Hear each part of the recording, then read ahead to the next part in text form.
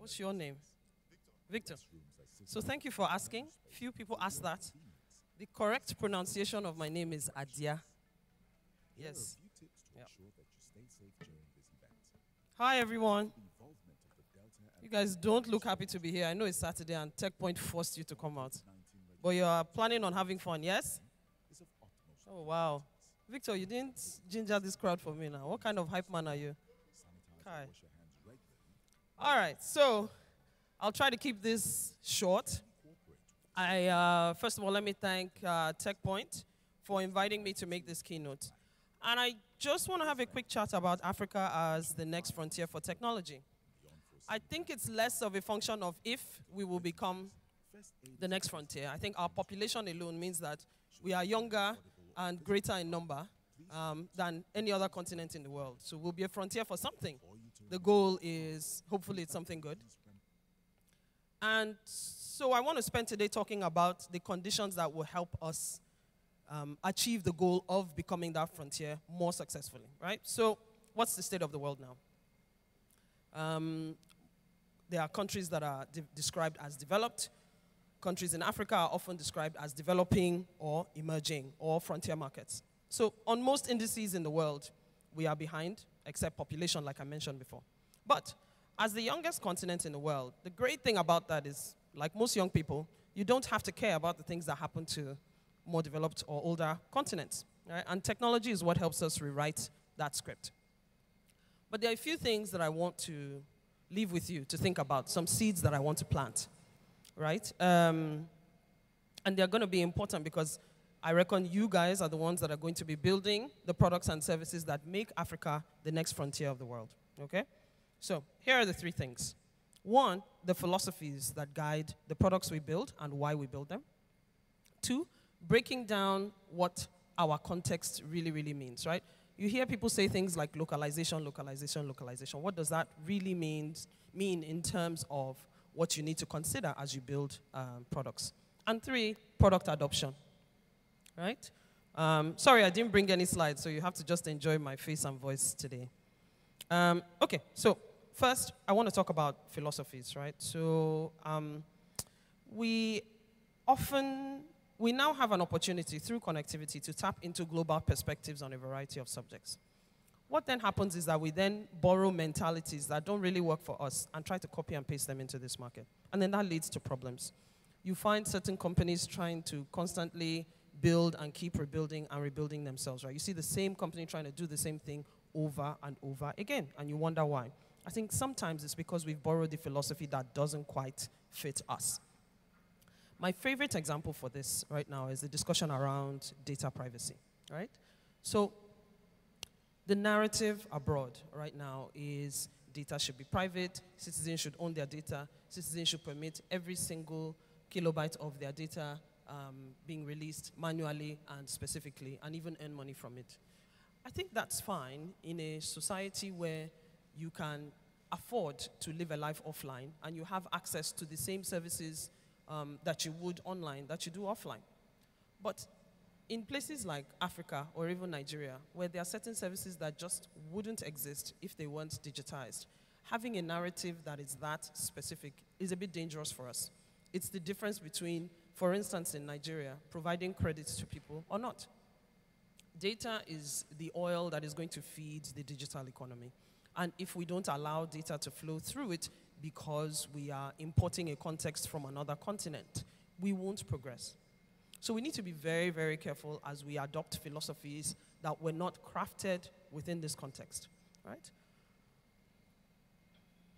The next thing I want to talk about um, would be the three big things I think about when building products, right? So this would be that we are in a low data environment, we are in a low trust environment, and we are in a low infrastructure environment. And I'll give examples as to what, what this actually means in practice. So in a low data environment, the implication is that we have not chosen a single basis upon which to make decisions. Our decisions are not data driven, which means, you know, John, James, and Jimo are coming into a room and choosing their own basis for making a decision. So when we are in a low data environment and we are all choosing different bases for making decisions, we cannot make data-driven decisions, right? So let's think about how countries were formed before, right? You usually had a guiding philosophy that was usually created post bloodshed. There was usually a war, civil war, or even genocide, right? You can't do those types of things anymore. So, how? How do you unify a bunch of people around a philosophy, around a company vision, around a mission, right? The only thing that successfully does that these days is data. This even affects me on a day to day basis as a leader of a multi generational team, right? It's, it's tougher for me to make arguments these days based on my experience, right? Because everyone can go on the internet and form an opinion and get support from that opinion, uh, support for that opinion, even from people thousands of miles away, right? Just because of that connectivity. So these days, I find that data has become even more important. But in this environment, the data isn't just sitting there. So one thing I think about when creating products is you have to make a product that creates data to support not only your decision making, but potentially the decision making of people outside of your environment. Right? So it's important to think about what is measurable and making sure you measure it and keeping it for a day when you need to make a decision. So the second thing I think about is low trust. Um, low trust is such a fundamental challenge, right? When you walk into a room and you're trying to make an agreement with somebody, there are certain things that you need to be giving confidence, confidence by, and trust is one of them. But in, in a country or in an area where there's no identity, there's no um, enforceability of law, there is no strong uh, policing, it's very difficult. If someone doesn't fulfill an agreement that you make with them, there's very little recourse that you have, right? But strangely enough, there's actually an equation for trust. And it actually com it's composed of elements that you can look up and actually work on as you build a product. So let me give you an example of, of products that frighten people because they ask for too much upfront without delivering on their end of the trust equation. Right? Imagine you see an app and it's asking you for all your personal information, your BVN, your NIN. You're not even sure what this app does, right? BVN is available via API. You don't actually have to ask somebody for their BVN, right? Because when you ask someone for their BVN, you are putting them in a difficult position. They first of all have to go and find it. I haven't memorized my BVN. So you're already introducing multiple steps into the process. And then you're asking them for a piece of information where there are many people and institutions telling them not to share it, even though that is not perfectly accurate advice. So you're triggering a fear response just in the way you have designed the front screen of your product.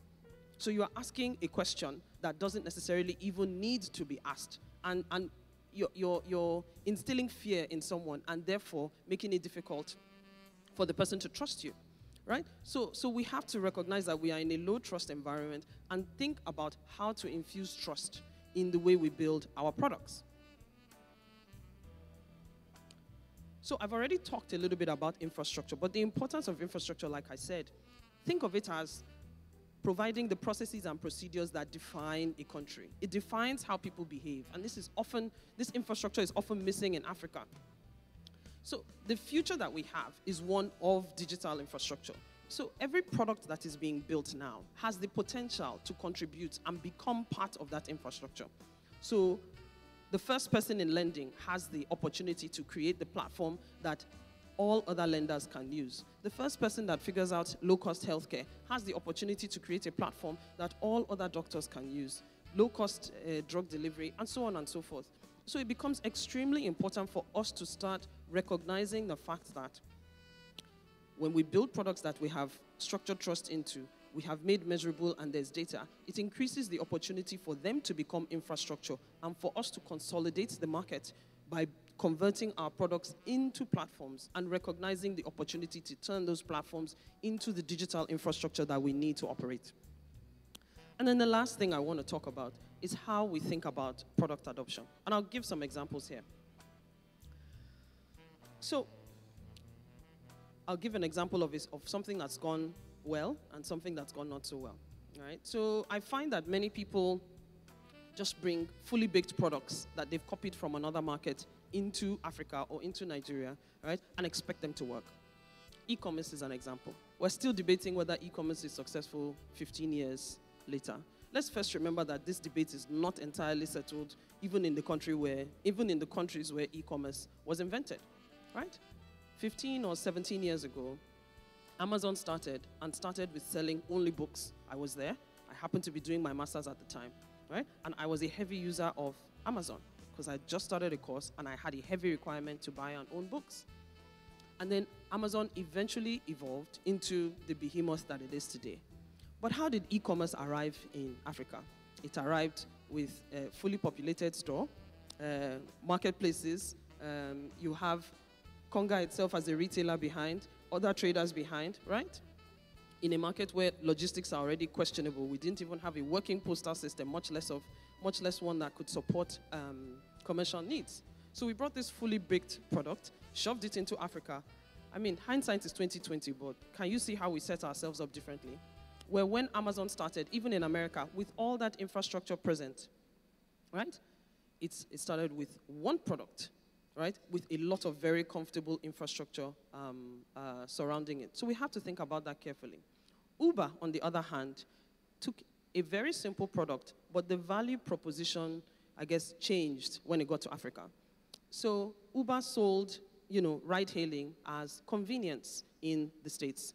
So you didn't have to have cash in your pocket. You didn't have to worry about tracking the driver if you lost something. You, you, you worried less about your personal safety. In Nigeria, what, what problem did Uber solve? Just simply hailing a cab from wherever you are. You didn't have to go to a main road anymore. Right? And then it also made transportation, comfortable transportation, accessible to people who couldn't afford cars at the time. So I think product adoption, and please Google product adoption curve and do this research for yourself. It's a really, really important consideration to think about as you are creating products, right? Because it is okay to actually find your earliest users, your people that are going to be like the iPhone users that used to sleep outside the stores uh, right before the iPhone launch. It's okay to start with those guys because they become the evangelists for your products rather than, rather than trying to eat the whole elephant at once and approach the whole market at once. So let me recap for the sake of, um, you know, uh, our rough start and the introductions here, right? I need you to think about three things as we work together to make Africa the tech frontier of the world, okay? You need to think about the guiding philosophies around technology, right, that are guiding our ecosystem. Two, you need to think about our context, uh, our local context in terms of low data, low infrastructure, and low trust, right? And the third thing I want you to think about is product adoption and actually studying and understanding that curve to allow your innovative products to diffuse properly. So I truly do believe that Africa is the next frontier for technology in many different ways. I believe that the products that we make here will be useful in the world, and I've already seen it happen. I used to work at a company called Migo, and after we launched Migo, what we understood was that in as much as we are serving the local audience here who have been locked out of certain types of financial systems, people who hadn't been able to lend money were able to lend with Migo. We were surprised when we started getting calls into our call center from consumers in the US, in the UK, also wanting credit. We realized that our products also spoke to people that were locked out of the development of the economies, even in developed countries. So for me, us being a frontier can only happen if we think about these principles I've just shared and make sure that our products scale, make the necessary impression that they need to on the rest of the world, and then the world will come calling to ask us for these products.